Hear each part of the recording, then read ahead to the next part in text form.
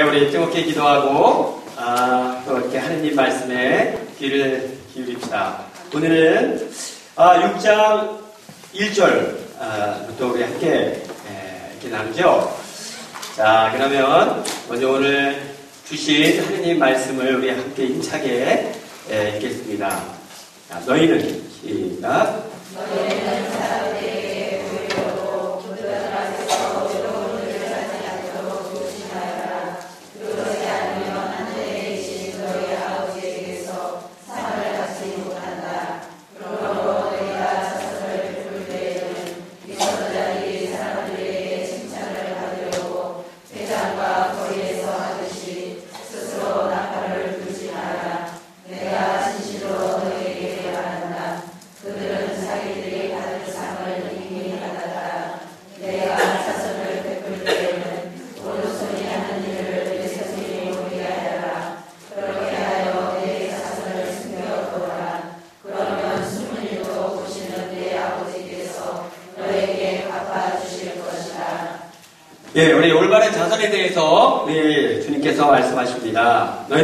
사람들에게 보이려고 그들 앞에 의로운 일을 하지 마라. 그렇지 않으면 하늘에 계신 아버지께 아무런 상도 받지 못할 것이다. 여러분 그냥 자연 이치가 사람 이치가 그렇습니다. 그죠? 우리가 어, 박수를 받을 때 엄마 앞에서 노래 부르면 엄마가 박수 치고 누나 앞에서 노래 부르면 누나가 박수 치는 것입니다. 그러니까 선행을 하면서 예수님 바라보면서 선행을 하면 예수님이 박수 치시는 거고 사람을 바라보면서 박수를 치면 사람한테 박수 받는 거죠. 네, 자, 이 자연스러운 아, 이치다.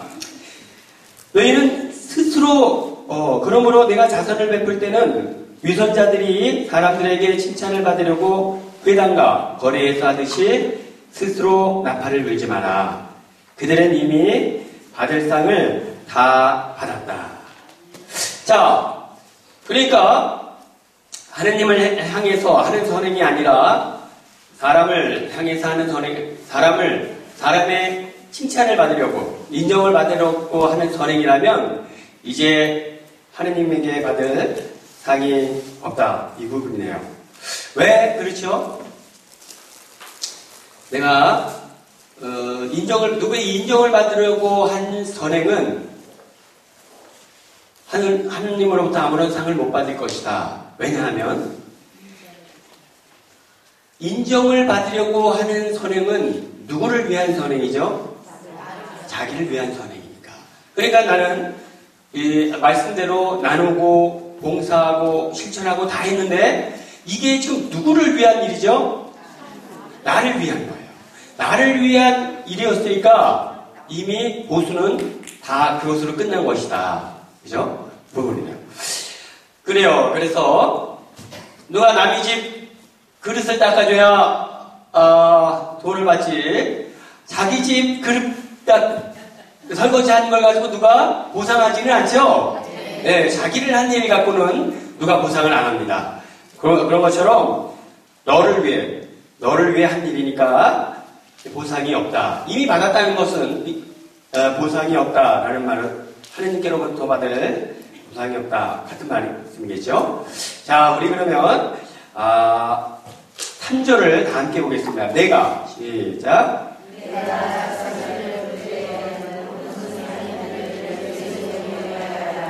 그렇게 하여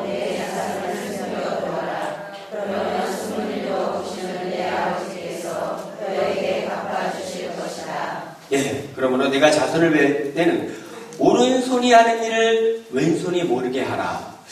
여러분, 오른손이 하는 일을 왼손이 모르게 할 수 있을까요? 그거 어떻게 하라는 얘기죠? 어, 이 오른손이 하는 일을 왼손이 모르게 하라는 것은 일단 아무도 모르게 하라는 얘기죠. 첫째, 아무도 모르게 해라. 둘째는 자기 자신도 모르게 해라. 라는 말씀인데, 자, 그러면, 어, 볼까요? 아, 자기, 자기 자신도 모르게 선행을 해라. 이게, 아, 제가, 글쎄요, 이게 비슷한 예가 될 수 있을지 모르겠는데, 제가 어렸을 때 부평사동 성당 담 바로 옆에 살았어요. 그냥 딱 어, 그래서 성당 마당이 우리 놀이터였어요. 복사를 하는데 복사를 하는데 성당이 가까우니까 토요일 날 홍대 미사 많이 있죠, 그죠? 토요일 날 홍대 미사 많이 있고 이렇게 그 복사가 준비가 안 되면 늘 우리 집에 전화를 했어요. 그래가지고 가가지고 복사. 아 이거 홍대 미사 복사하면 얼마나 그냥 이게 좋은지 막 밥 주지요. 더군다나 또 가끔 공휴일에 학교 안 가는 날 장례가 평일날 날 때가 있어요. 그 장례 미사 복사도 연락이 오는 거예요. 그래가지고 참 복사를 많이 썼습니다. 복사를 많이 쓰면 연말에 연말에 하여튼 뭐 어, 아 그냥 또 이렇게 수고했다고 막 칭찬도 듣고 이래서 하는데 그러니까 그 평일에도 이렇게 딱 미사를 나가 있는 거예요. 미사. 저왜 어렸을 때 참 복사 쓰는 걸 좋아해서 그래가지고 이렇게 있다가 딱 우리 규정이 복사가 미사전 10분 전에 안 오면 못 쓰게 돼 있어요. 그러면 이제 10분 전까지 이렇게 기다리고 있는 거예요. 그러다 그때까지 안 오면 이제 들어가는 거예요.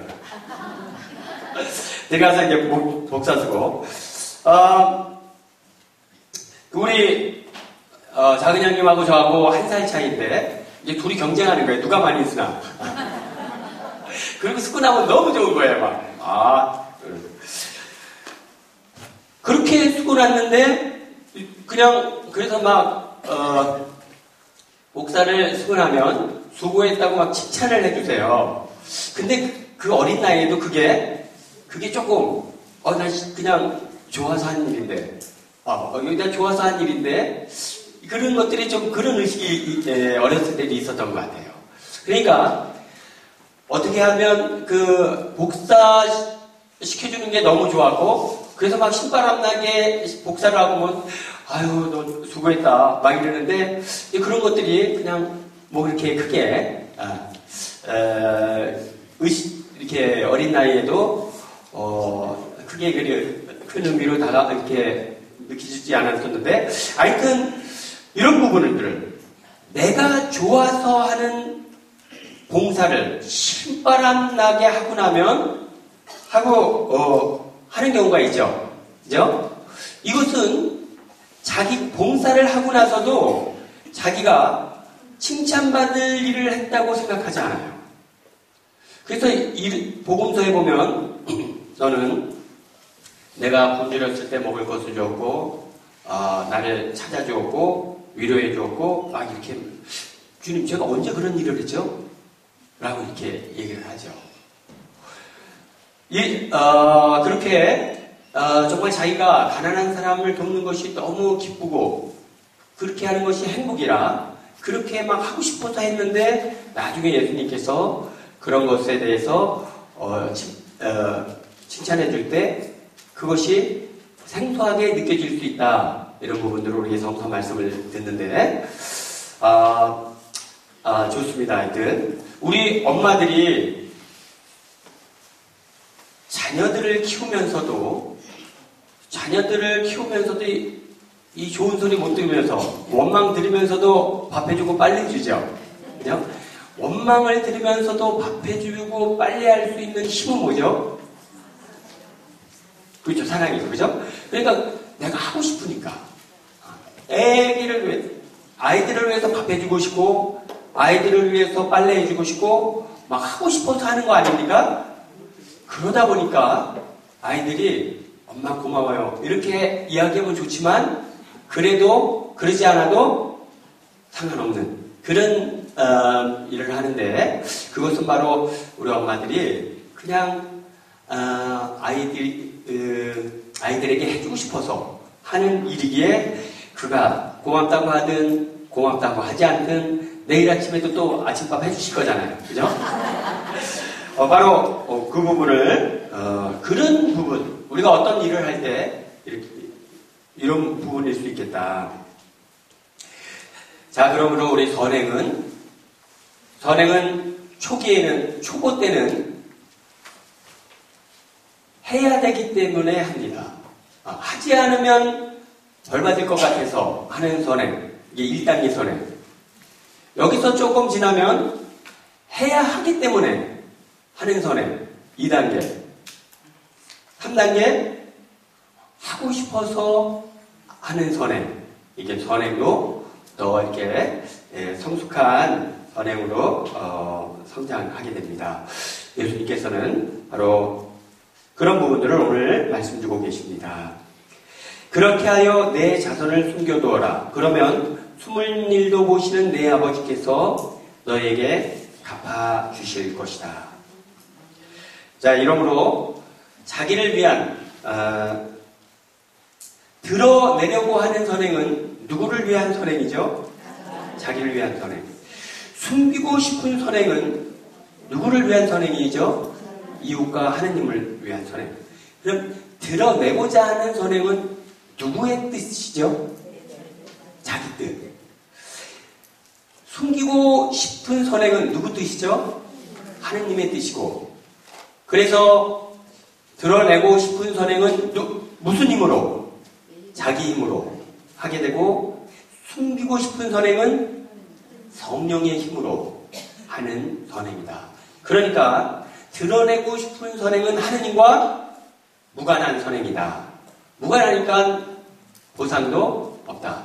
숨기고 싶은 선행은 전적으로 누구와 연관된 선행이죠? 하느님과 연관된 선행. 그러니까 하느님을 선물로 받게 될 것이다.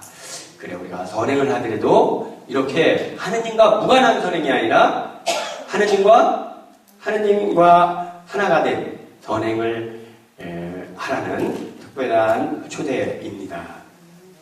자 이렇게 해서 우리 선행을 말씀 받는데 어, 주셨고 다음은 기도 역시 기도도 선행과 같은 원리로 말씀을 주고 계십니다. 어, 우리 6장 5절에서 8절을 함께 볼까요? 너희는 시작 너희는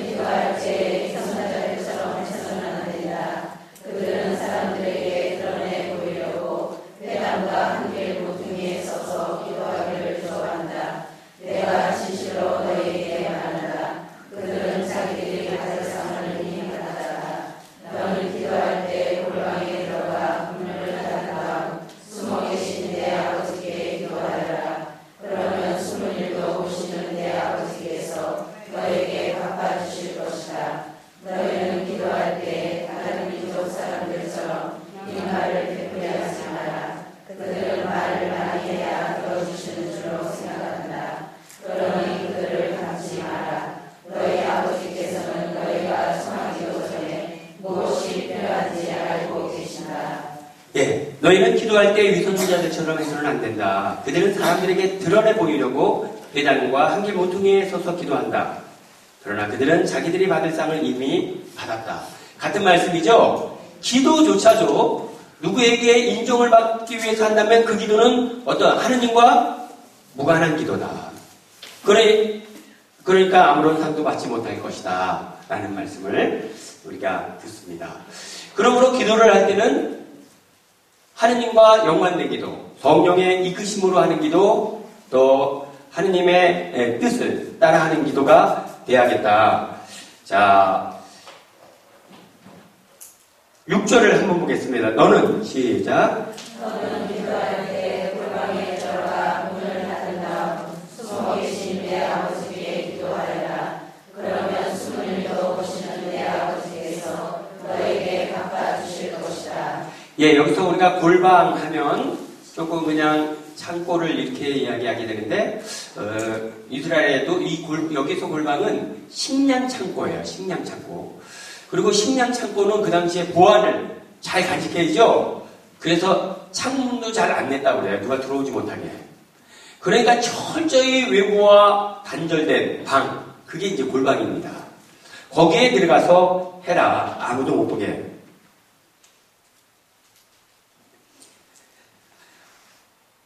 우리가 기도할 때, 기도할 때 우리가 누구에게 인정을 받기 위해 한다면 우리의 의식이 이웃에게 가 있는 것이고 그것은 하느님과의 대화가 아니라 이웃과의 에, 대화가 돼버리죠. 기도에서, 기도하는 데 있어서 가장 중요한 것은 무엇이죠? 하느님의 현존 의식을 느끼는. 무슨 기도를 하든, 심령 기도를 하든, 묵주 기도를 하든, 성취 주배를 하든, 어떤 기도를 하든, 모든 기도의 대전제는 하느님의 현존이에요. 왜 그렇죠? 기도는 하느님과의 대화이니까. 대화를 하려면 상대방과 이렇게 마주서서 해야겠죠? 상대방과 마주, 상대방을 바라보면서 대화를 해야 그것이 대화가 됩니다. 그런 것처럼 기도가 하느님과의 대화라면 기도하기 위해 제일 먼저 해야 할 일은 하느님의 현존을 의식하는 것입니다. 그런데 누구에게 우리 옆집에 누구 엄마에게 잘 보이기 위해서 한다면 그 하느님이 현존이 아니라 옆집에 길동이 엄마 현존이 예, 있겠죠? 자, 그런 측면에서 그런 기도는 힘을 받지 못할 것이다. 우리는 기도할 때 하느님 현존 앞에 현존 안에 서는 것이고 기도를 함으로써 하느님 현존에 더 깊이 깊이 들어가는 것입니다. 그러므로 기도한다는 것은 하느님 품에 안겨 어, 있다 나오는 것입니다. 이렇게 하느님 품에 안겨 있을 때 우리의 이 기도의 시간은 우리 안에서 놀라운 어, 일을 어, 역사가 일어납니다. 우리의 이 지향들이 응답을 받고 또 정말 하느님 품 안에 푹 안겨 있는 느낌을 받을 때 우리의 몸도 회복되고 또 우리를 부정적으로 부정적인 영향을 미쳤던 악의 세력도 끊겨 나가고 쫓겨 나가고 이렇게 하느님 품 안에 안겨 있을 때 그때 비로소 어, 놀라운 일들이 일어나죠. 그러니까 기도는 하느님 현존 안에 머무르는 것이고 다시 다른 말로 표현하면 하느님 품 안에 안겨서 보내는 시간입니다. 그러므로 우리가 기도를 누구에게 인정받기 위해서가 아니라 오직 하느님께 하느님 현존에 깊이 머무르며 우리가 가야겠습니다. 그래서 하느님 아기가 깐난 아기가 엄마 품에서 이렇게 엄마 젖을 먹고 엄마 엄마 품에 안겨서 자란 아이들은 몸도 건강하고 저항력도 강하다고 해요. 또 정서적으로도 안정이 되고 그런데 그렇지 않은 아이들은 몸도 병도 질병도 잘 걸리고 마음도 정서도 불안하고 엄마 품에 안겨 있는 게 얼마나 중요 안겨서 자라는 게 얼마나 중요한지 몰라요. 마찬가지로 우리도 영적인 아, 부, 어, 엄마인 우리 하느님 품에 안겨서 지내는 것이 너무 필요합니다. 이 시대에 정말 너무나 정, 정신적으로 많은 사람들이 다 불면증에 시달리고 또 여러 가지 그 영적인 메마름 이런저런 아, 신경적인 쇠약 마음의 그 아, 이렇게 강박함 이런 거에 시달리는데 하느님 품 안에 머무는 시간이 적기 때문에 그런 것 같습니다. 그러므로 우리 자 하느님 품 안에 네, 푹 머무는 시간들을 우리 가집시다. 자.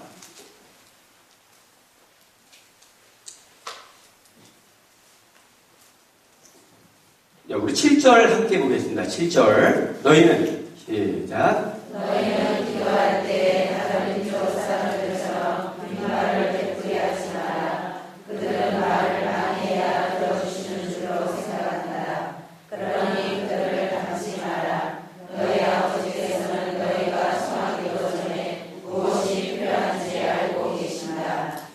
네. 너희는 기도할 때 빈말을 되풀이하지 말고. 그러니까 빈말을 되풀이하지 말라는 것은 무슨 말을 하라는 얘기죠? 마음이 담긴 이 말을 해라. 어, 마음에도 없는 얘기 하지 말고 지존하시고 무서워 부재하시며 아, 그냥 미사역으로 일사천리로 이렇게 나가잖아요. 그런 어떤 정말 마음이 담겨 있지 않은 어, 아주 그냥 고사성어 이렇게 써가면서 이렇게 에, 하는 말들을 잠깐 보는데 그런 말들이 아니래도 하나님께서는 기뻐하신다. 마음이 담겨 있는 마음. 그러므로 기도할 때 우리 마음이 담긴 기도를 합시다. 어, 그러므로 조금 기도할 때는 자, 여러분 기도할 때는 마음이 담긴 정말 자기의 솔직한 마음을 예수님께 달래자는 거예요. 여러분도 아마 그런 걸 느낄 거예요. 아이들이 예, 자녀들이 예, 엄마랑 와서 얘기를 하는데 자기의 마음을 솔직하게 내려놓을 수 있죠. 그죠? 그럴 때가 있, 죠 그래가지고 어, 그냥 뭘 사달라고 그랬는데 엄마가 아, 그거 그냥 좀 다음에 사줘도 될 것 같아서 안 사줬어요. 그때 그냥 삐져가지고 이제 갔어. 내가 삐진 거 다 알죠? 그래서 삐져가지고 방에 문 걸어 담고 있으면 아, 참 답답하죠? 근데 그냥 엄마 나 엄마한테 하고 싶은 얘기가 있어요. 어머니 엄마가 나 그거 다음에 사준다고 그럴 때 너무너무 내가 엄마 미워했어. 엄마, 엄마가 이런 얘기를 할 때 여러분 그런 얘기를 했다고 할 때 여러분 마음이 어떠시겠어요? 네가 나를 미워했어? 이렇게 나가는 엄마는 거의 없을 거예요. 아유 그렇구나 우리 순이가 아이고 그래 그래 마음이 많이 상했겠구나. 아유 그래 그래 고마워 네가 이런 마음을 솔직하게 엄마한테 얘기해줘서 고마워. 엄마가 하여튼 오늘은 이게 여건이 안 돼서 못 사줬는데 여건은 되는 대로 바로 사줄게. 알았지? 힘내. 예, 엄마. 이렇게, 이렇게 갈 때그 대화가 참 힘있는 대화. 사랑이 넘나드는 대화가 되지 않겠습니까? 네. 자, 그런, 그래, 저 반면에 또, 안 사줘서 그냥 삐졌는데, 그도, 혹시 맘 상하지 않았냐? 안 해요, 엄마. 엄마 뭐 살림하시려면 돈 들어가는 데도 많잖아요. 어디 뭐 괜찮아요. 마음은 안 그러면서 말은 이렇게 할 수 있죠. 그러면 그 대화가 이게 좀 이게 찜찜하죠. 그러므로 여러분 어, 사람과의 대화도 그렇다면 하느님도 그렇게 하신다. 그러니까 여러분들의 마음을 내 마음을 전하는 기도가 되면 좋겠다. 그래서 정말 솔직하게 누가 미우면 하느님 내가 너무 너무 정말 밉네요. 진짜 걔 안 만나고 싶은데요. 어떻게 하면 좋죠? 아, 그것이 솔직한 마음이라면 그렇게 얘기를 시작하는 것. 아, 누가 어, 그리고 진짜 하나님 너무 섭섭합니다. 내가 불일교도 하고 청하면 주실 것이라고 했어. 내가 그렇게 그냥 막 밤낮으로 부르짖었는데 도대체 응답은 안 주시고 일이 더 꼬여갑니다. 또 왜 이러십니까, 하느님?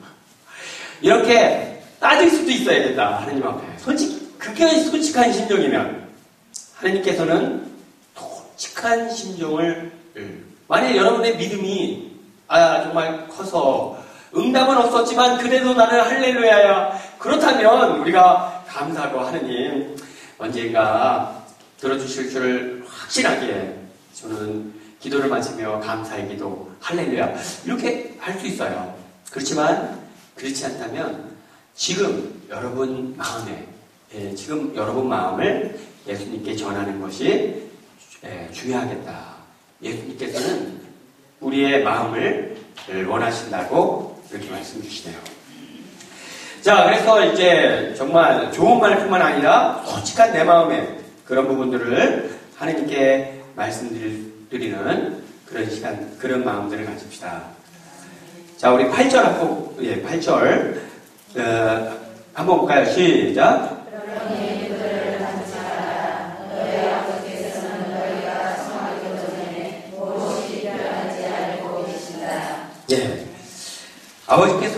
우리가 필요한 것을 알고 계시다. 어떻게 알고 계시죠? 다, 다 아시죠? 그렇죠? 자, 우리 로마서 8장 26절을 보죠. 로마서 8장 26절.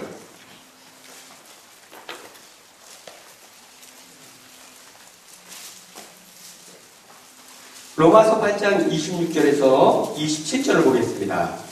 이와 같이 자, 로마서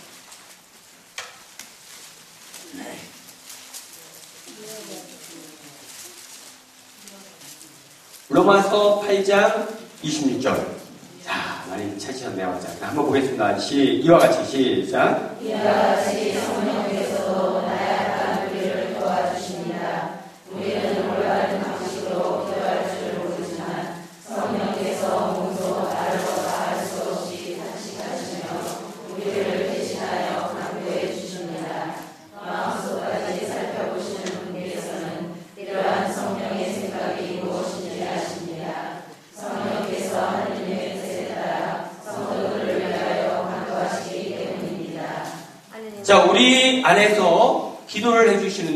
강구해 주시는데, 누가 강구해 주시죠? 성령께서 나, 내 안에서 나를 위해 간구해 주세요. 그러니까 성령께서 간구해 주시는 그 기항은 굉장히 중요한 거겠죠, 나에게. 네, 나에게 너무 중요한 거예요. 그렇게 성령께서 내 안에서 기도하고 계시니까 그 기도를 누가 아시겠어요? 하느님께서 아십니다. 자, 이렇게 성령께서 우리를, 우리에게 정말 필요한 것을 기도에 강구해 주시니까, 아, 아, 하나님께서 아신다. 그러므로, 예. 그러, 그러니까 하나님께서는 우리의, 우리가 무엇이 필요한지를 잘 알고 계신다. 그럼에도 불구하고, 어, 그러니까 우리가 어떻게 기도해야겠다. 우리가, 어, 예수님께서는 우리에게 두 가지를 물으세요. 뭘 물으시죠? 내가 원하는 것이 무엇이냐? 그리고 두 번째는 내가 그것을 해줄 수 있다고 믿느냐? 이 두 가지를 물으시죠? 예수님께서는 다 아시는데 왜 우리에게 네가 원하는 것이 무엇이냐고 물으시죠?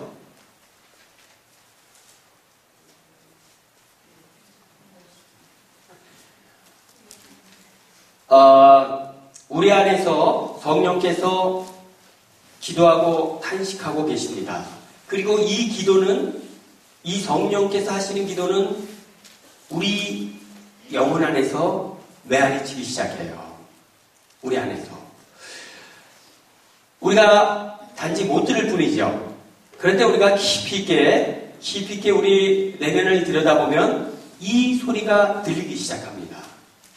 그러니까 정말 나에게 필요한 것이 무엇인지는 내 생각이 아니라 내 내면에서 울려나오는 이 성령의 소리를 들을 수 있을 때 진정으로 필요한 것이죠.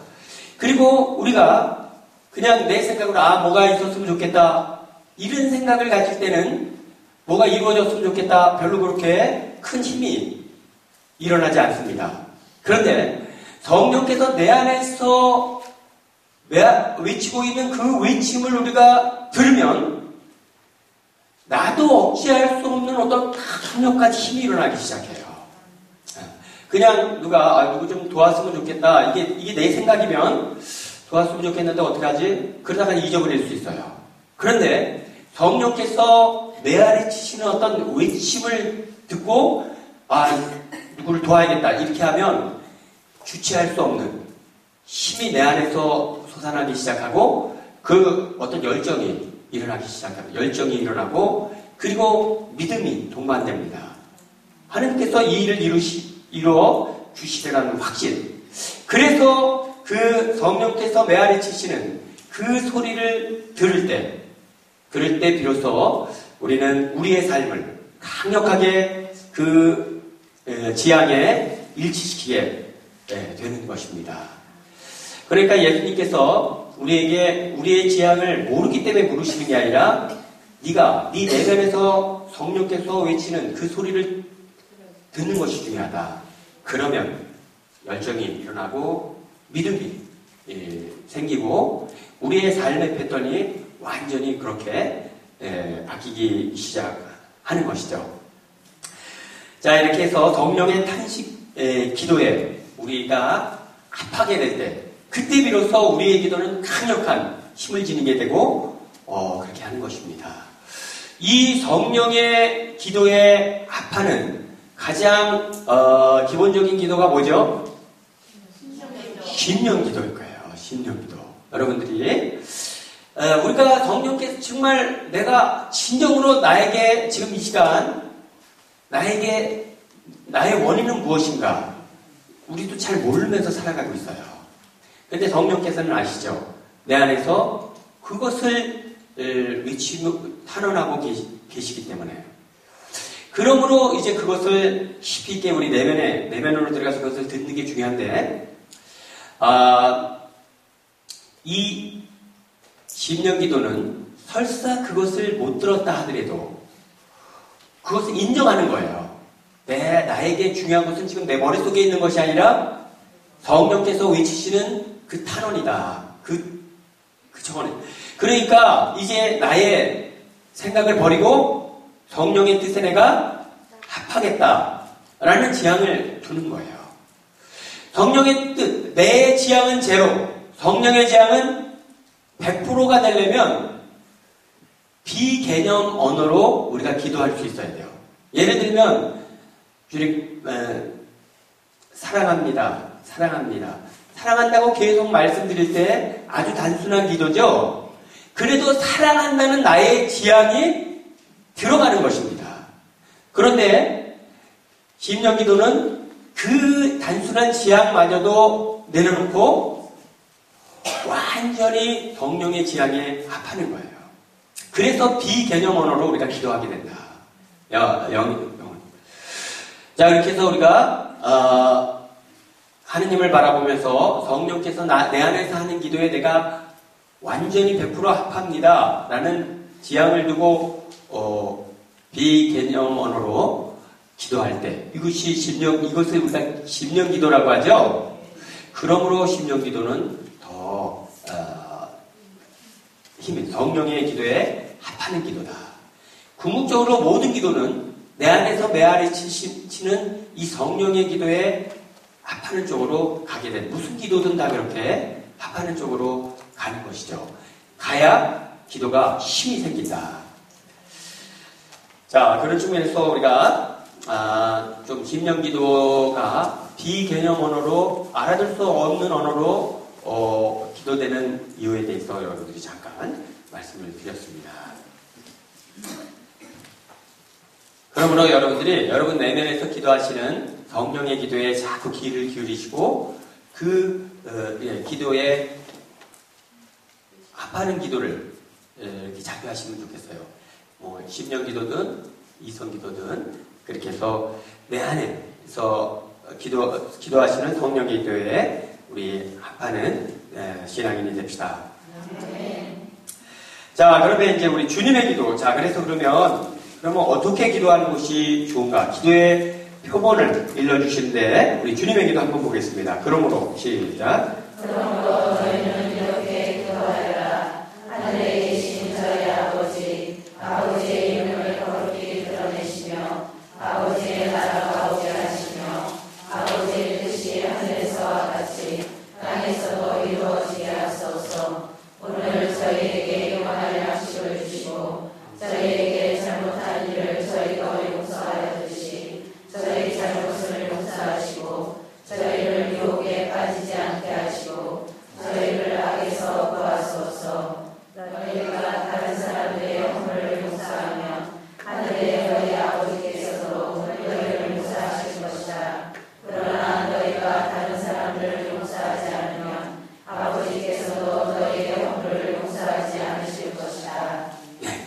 하늘에 계신 저희 아버지 하느님을 이제 우리의 아버지로 부르기 시작했습니다. 하느님을 부르는 종교가 있지만 하느님을 아버지 나의 아버지라고 부를 수 있는 것은 예수님을 주님으로 받아들이는 사람의 특권이다. 요한복음 1장 12절을 보겠습니다. 요한복음 1장 12절.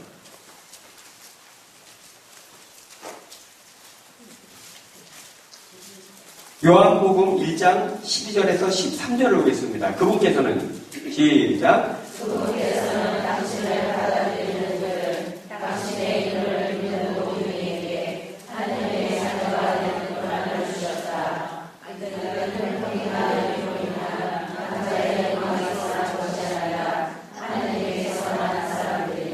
예, 이렇게 예수님을 주님으로 받아들이는 사람에게는 하느님을 하느님의 하느님을 아버지라고 부르는 그러는 아, 특권을 받았다. 그러니까 우리가 하느님을 여러분 아버지라고 부를 수 있는 것은 정말 너무너무 놀라운 특권입니다. 그죠? 아, 자, 우리, 어, 아버지의 이름을 거룩히 드러내시며,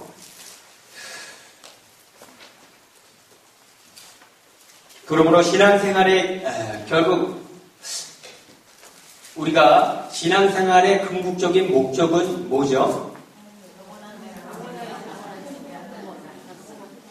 하느님, 하느님 영광을 드러내는 것. 그죠? 그래서 사, 교리 문답 1번. 사람이 왜 태어났느냐? 답이 뭐죠? 네, 에, 하느님 말씀을 에, 하느님 말씀을 실천하고 그렇게 함으로써 구원을 얻기 위해 하느님께 영광을 드리고 그렇게 함으로써 구원을 얻는 것 이것이 우리가 세상에 태어난 궁극적인 목적입니다. 자, 그러므로 우리가 내 생활의 모든, 신앙생활의 모든 포인트가 하느님의 영광을 드러내기 위해.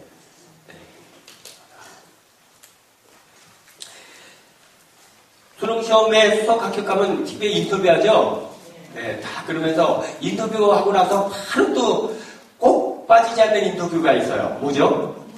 자, 어머니, 아, 어머니, 그러면 한 말씀 주시죠. 수석 합격을 하면 반드시 빠지지 않는 게 부모님 인터뷰예요. 왜냐하면 어, 그 영광이 예, 예, 영광이 그렇게 그가 그렇게 영광스러운 일을 하게 된 것은 무엇 때문에 부모님의 도움. 그러므로 우리 믿는 신앙인들이 어떤 열매를 이루었다면 반드시 하느님의 영광이 드러난다. 그렇죠? 그러므로 우리가 이냐시오 성인은 하느님의 더 큰 영광을 위해 그러니까 이냐시오 성인은 다 삶이 하느님의 영광을 위한 삶이었어요. 그러면서도 선택을 해야 될 때 기준은 무엇이 하느님께 더 큰 영광이 되느냐. 이것이 이제 선택의 기준이에요. 그래도 그, 그분은 늘 하느님의 더 큰 영광을 위해 이것이 모토였습니다. 우리도 하느님의 더 큰 영광을 위해 매 순간 선택하고 어, 실천하며 가는 신앙인 됩시다. 네. 여러분 자신의 영광을 드러내고자 귀를 쓰는 존재가 있는데 뭐죠? 사탄, 루치펠. 루치펠은 루치펠은 빛을 바라는 자, 어, 샛별과 같은 존재. 태양 옆에서 마지막까지 빛 을 바라는. 그러므로 이렇게 자신이 스스로 빛을 발해서 하느님의 영광을 가리고자 하는 자, 그가 곧 루치펜, 사탄이라는 뜻이에요. 그러므로 자기의 영광이 빛나서 자꾸 하느님 영광이 가려진다면 이것, 이것도 이제 하느님께 걸림돌이 된다. 예. 그러므로 우리가 아, 정말 끊임없이 영광을 어, 하느님께 돌리는 것 너무너무 중요하겠습니다. 아, 자, 우리 아버지, 자, 우리 10절 함께 보겠습니다. 10절. 아버지의 시작. 예,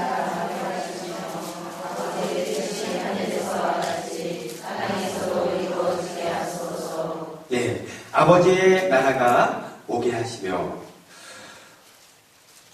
그래서 이제, 어, 우리가 아버지의, 아버지의 나라는 어떤 나라인가? 로마서 14장 17절 한번 볼까요? 로마서 14장 17절.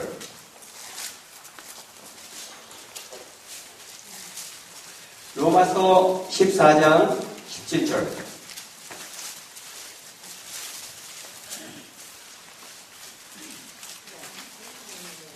자, 14장 17절.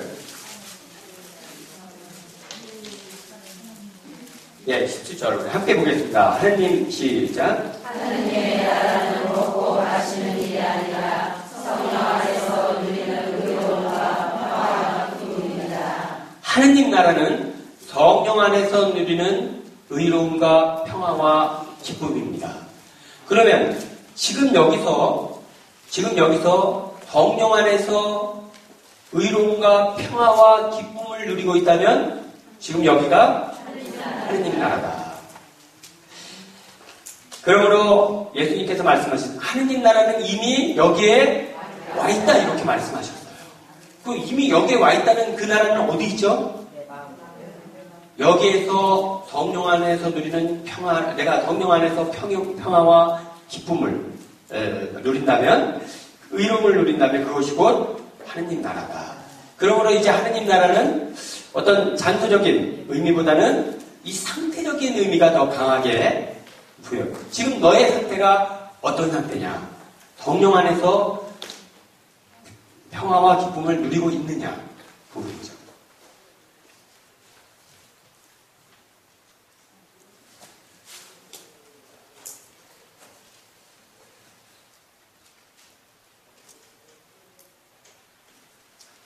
예, 그러므로 이 세상에서 성, 성령 안에서 저 의로움과 평화와 기쁨을 만끽했던 사람은 나중에 하느님 나, 저, 저 세상에 가서도 그런 삶을 선택하게 된다. 그런데 이 세상에서 어떤 인간적인 욕심이나 어, 욕심에 사로잡혀 살던 사람은 저 세상에 사, 가서도 그런 삶을 선택해 에, 살게 된다. 이런 부분이죠. 그러니까 지금 여기서 지금 여기에서 하느님 나라를 살아가는 것 너무너무 중요하겠다라는 말씀을 드립니다. 바로 하느님의 뜻을 이루고 하느님의 영광을 이루는 곳에 에, 바로 성령께서 함께 하십니다. 자기의 뜻, 자기의 영광을 이루는 것은 무슨 일이죠? 자기의 일이에요. 거기에는 하느님과 무관하다. 그러나 하느님 뜻을 이루고 하느님 영광을 이루고자 하는 것에는 이것은 하느님의 일이고 정령의 힘으로 이루어지는 일이다. 그런 부분들을 함께 나눕니다. 자, 우리 11절 함께 보겠습니다. 11절. 오늘 시작. 오늘 저희에게 일용할 양식을 주시고 저희에게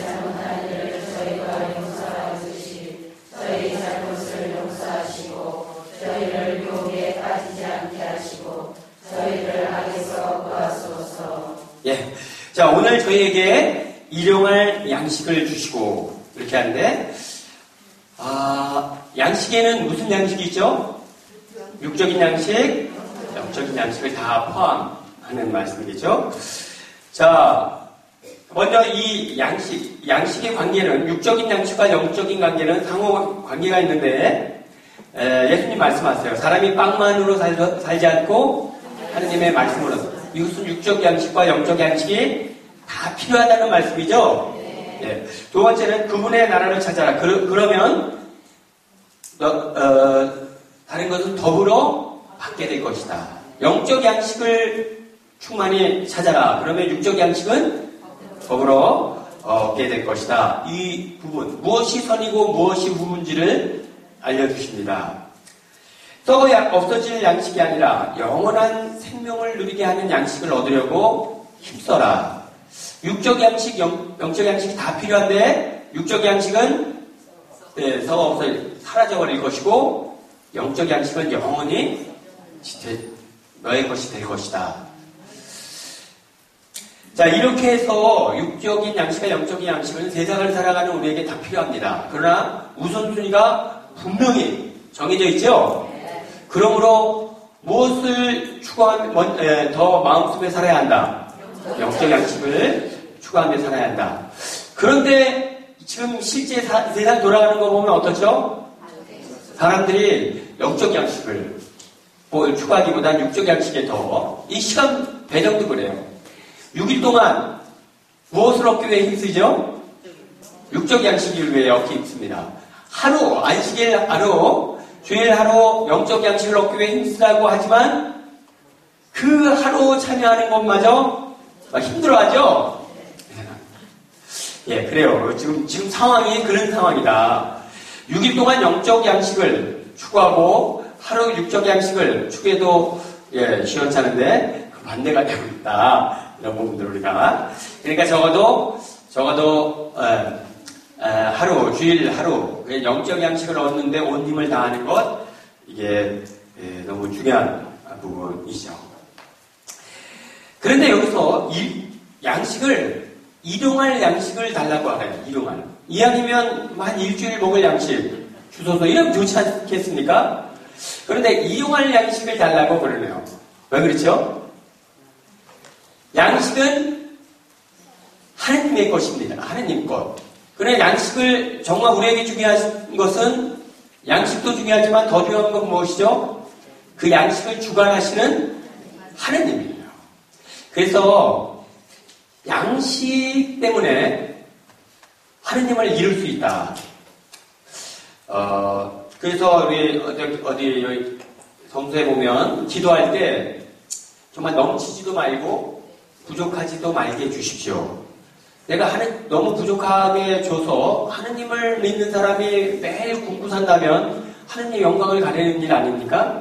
그러니까 정말 부족, 그래, 부족함 없이 채워주십시오. 그렇지만 재물을 쌓아둘 만큼은 주지 마십시오.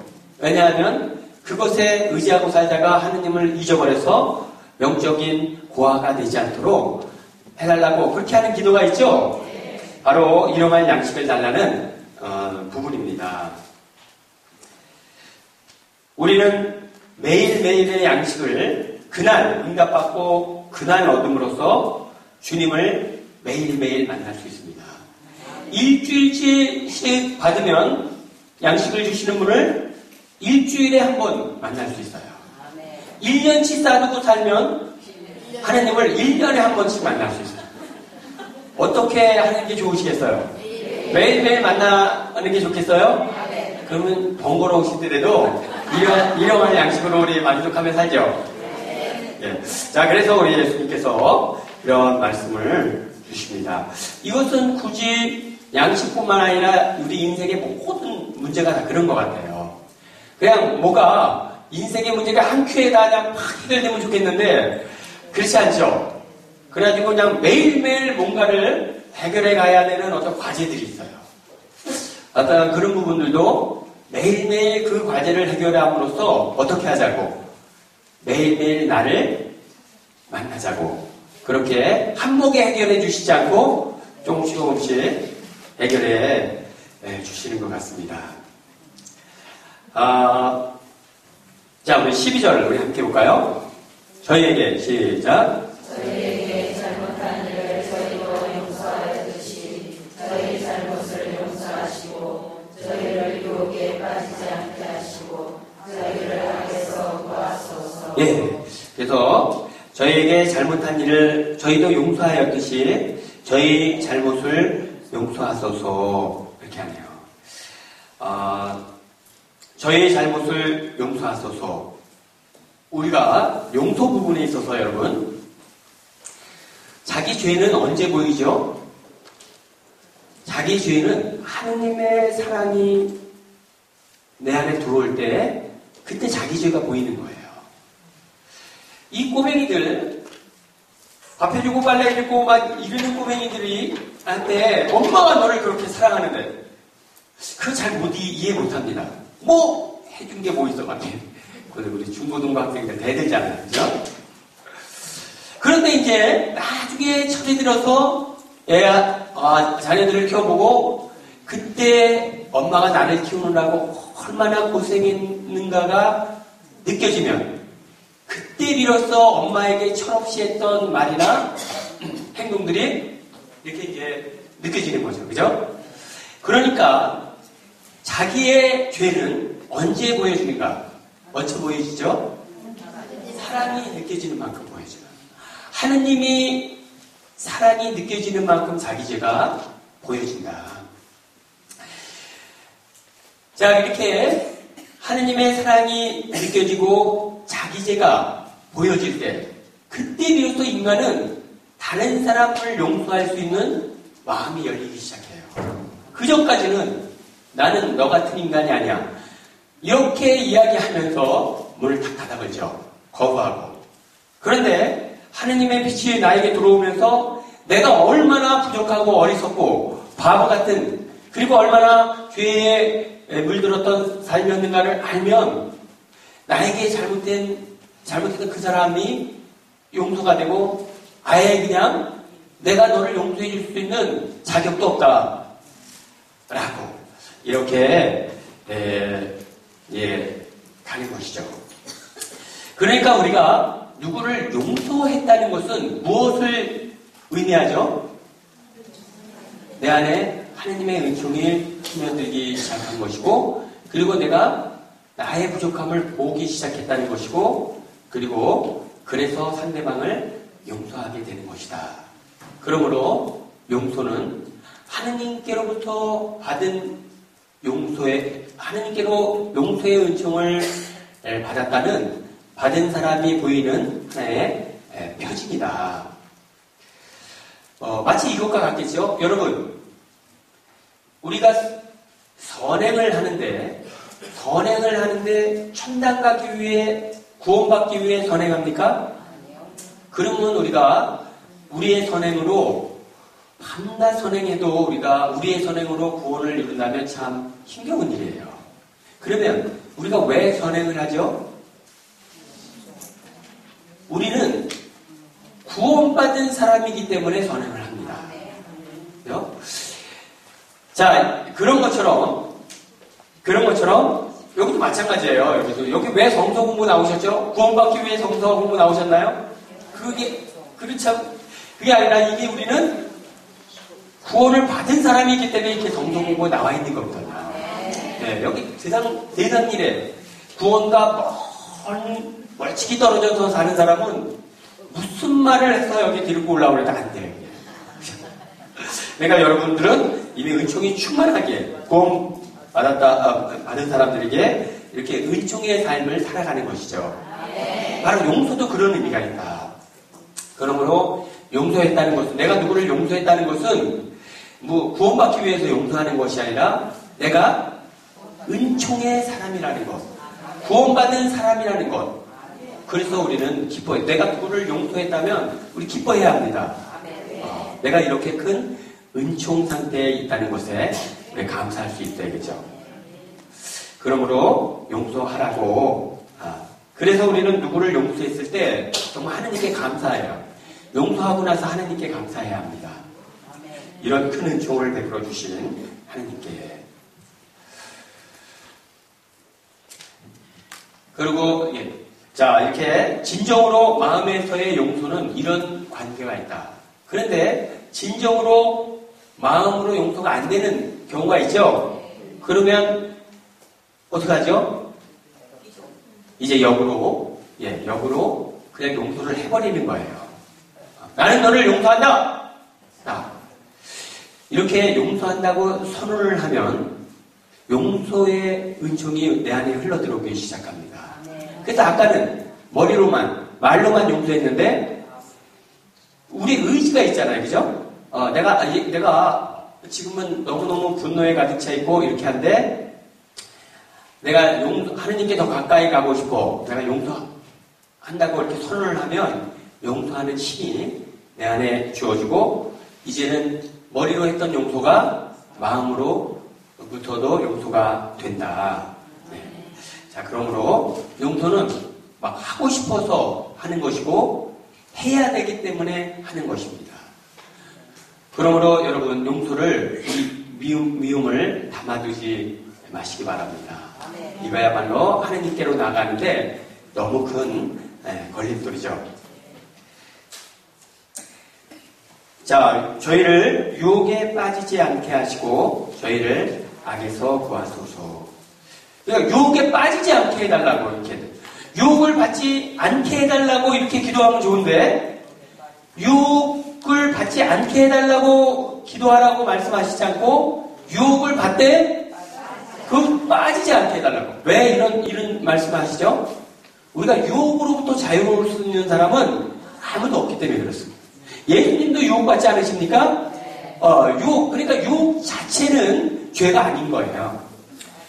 유혹 자체는 죄가 아니고, 어, 근데 어떤 분들은 유혹 자체에 벌써 죄의식을 갖고, 죄, 죄의식을 갖는다는 것은 막 내적으로 약해진다는 것을 의미해요. 판단력이 흐려지기 시작하고 그래서 영성 생활을 해나가는데 그렇게 에, 좋지 않습니다. 그러므로 우리가 유혹, 유혹을 이 느껴질 때, 유혹이 느껴질 때 그 자체는 죄가 아니고 그냥 자연스러운 것이다. 바람이 불어왔다 스치고 나를 지나가는 것처럼. 그러니까 그 유, 유혹에 유혹을 부여잡지 않으면 어, 되는 것이죠.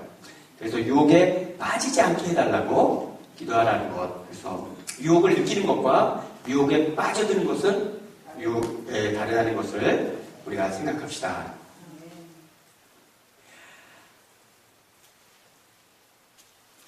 자, 그렇지만 유혹, 예, 그리고 악에서 구하소서. 악마의 공격은 강력하고도 지속적입니다. 또, 한 번 유혹을, 또 공격을 넘, 넘었다고 방심하면 다음에 넘어져. 파도가 끊임없이 끊임없이 밀려오는 것처럼 악의 유혹과 공격도 끊임없이 끊임없이 우리에게 밀려온다. 그러니까 정신을 바짝 차리고 깨어 있어야겠습니다. 언제까지죠? 죽는 순간까지 정신을 바짝 차리고 깨어 있지 않으면 어, 안 되겠다. 그리고 우리가 아무리 지금까지 잘 살았다 해도 유혹은 한 방입니다. 10년간, 20년간 무사고 모범운전술에도 딱 한순간의 졸음운전에 그냥 모든 것이 다 날아갈 수 있어요. 그죠? 그러니까, 딱 한순간이 중요하다. 죽는 순간이 중요한 것은 죽는 순간이 너무너무 중요해요. 임종의 순간이. 그래서 임종의 순간은 막 사탄도 총, 총공세를 하고, 아, 천사들도 어, 그냥 전, 하느님도 그냥 전, 온 힘을 다해서 지켜주시고, 왜냐하면 중요하니까. 아, 그 순간에 예, 우리의 마음이 어디를 향해 있느냐가 너무너무 중요하기 때문이죠. 그러나 평소에 늘 깨어 있으려고 노력하는 사람은 죽는 순간에 깨어서 어, 하느님을 바라보며 인종하게 될 것입니다. 그래서 그것이 중요, 중요하다. 어떤 분들은 아, 신앙생활을 뭘 그렇게 열심히 하냐 힘들게 그냥 이렇게 막 살다가 죽는 순간에 그냥 하느님만 바라보면서 살면 되지 않겠냐 이런 얘기를 해요. 근데 여러분 살아서도 하느님을 바라보면 못 살았는데 죽는 순간에 하느님을 바라보면서 죽겠습니까? 아 그게 그거 그렇게 쉽지 어려운 일이죠. 자 그러므로 우리가 지금부터 막 훈련을 해야겠습니다. 자 자, 14절, 15절 다시 한번 용서에 대해서 나오네요. 너희가 시작. 너희가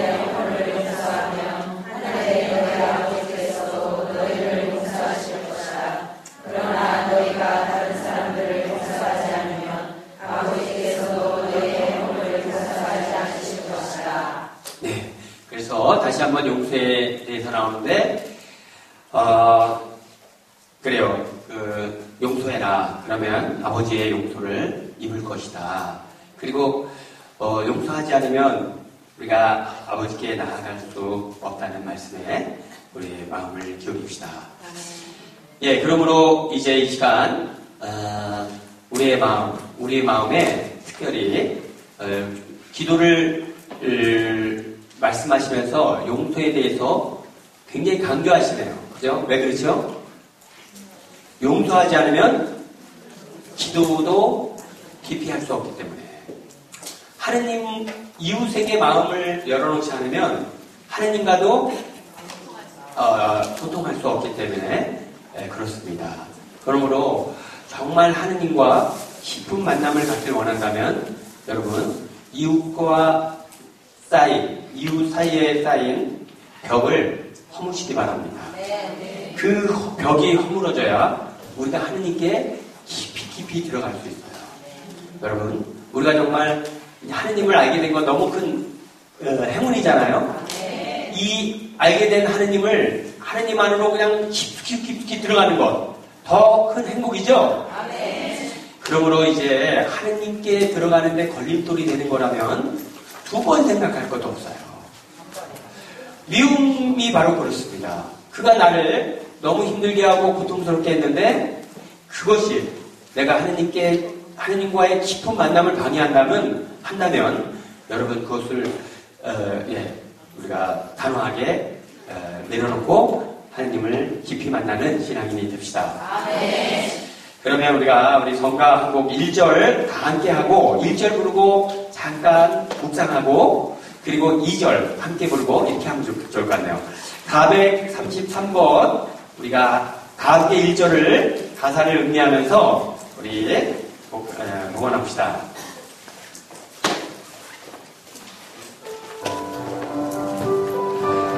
(433번)